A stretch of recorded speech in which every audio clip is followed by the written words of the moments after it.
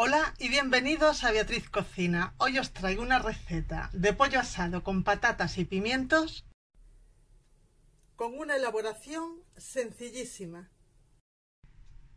Recordad que la suscripción a mi canal es totalmente gratuita y que podéis dejar cualquier duda o comentario que siempre intento atender. Tenéis los ingredientes por escrito en la cajita de descripción que hay debajo del vídeo. Mirad, va a llevar un kilo de muslos de pollo,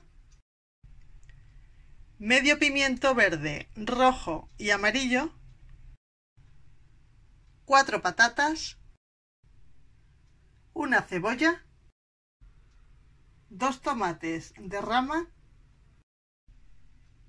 el zumo de medio limón, 100 mililitros de vino blanco, sal, pimienta blanca molida, y por último, un buen aceite de oliva virgen extra. Lo primero, voy a dejar salpimentado el pollo. Pimienta blanca, que es un poquito más suave que la negra. Y va a gustos, pero os recomiendo no solapar con las especias el sabor del ingrediente principal. Así que con mesura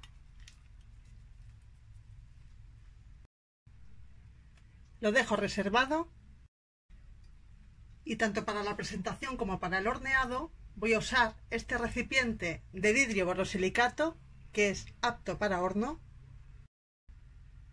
Debe soportar temperaturas muy altas, eso lo va a indicar siempre el fabricante y tengo ya aquí las patatas peladas y lavadas que van a ir de cama y para eso las estoy cortando en rodajas de un grosor medio. estas las llamo híbridas porque son de una variedad, la Mona Lisa, que vale tanto para freír como para guisar o cocer. Bueno, pues así repartidas.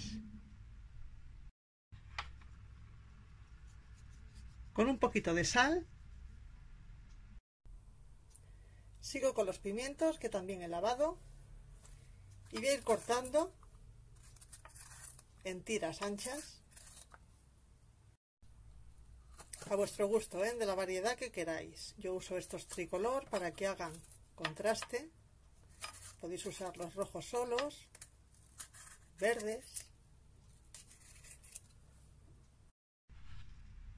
Y también con un poquito de sal, muy poca. La cebolla también pelada y cortada en tiras y mirad, un buen truco para que no nos haga llorar es pasarla por un buen chorro de agua junto con el cuchillo. Eso va a neutralizar los ácidos que contiene. Pues igual, a cada paso un poquito de sal y los tomates que he lavado y sin pelar voy cortando en medias rodajas. Es una buena guarnición, como veis, para acompañar el pollo. Lo voy colocando.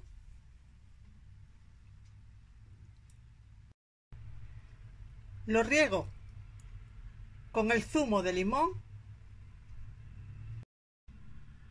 el vino blanco podía ser tinto o rosado. Y aunque la piel del pollo ya contiene grasa, a mí me gusta ponerle un buen chorrito de aceite de oliva. Y esto es todo, no tiene más. Me lo llevo ya al horno precalentado, calor arriba y abajo, a 200 grados centígrados. Mirad, la función de aire del horno le viene muy bien a las carnes, así que la puse y ahora que han pasado 40 minutos voy a retirar el recipiente, regaré el pollo con su propio jugo, volveré a introducirlo en el horno hasta que esté hecho del todo.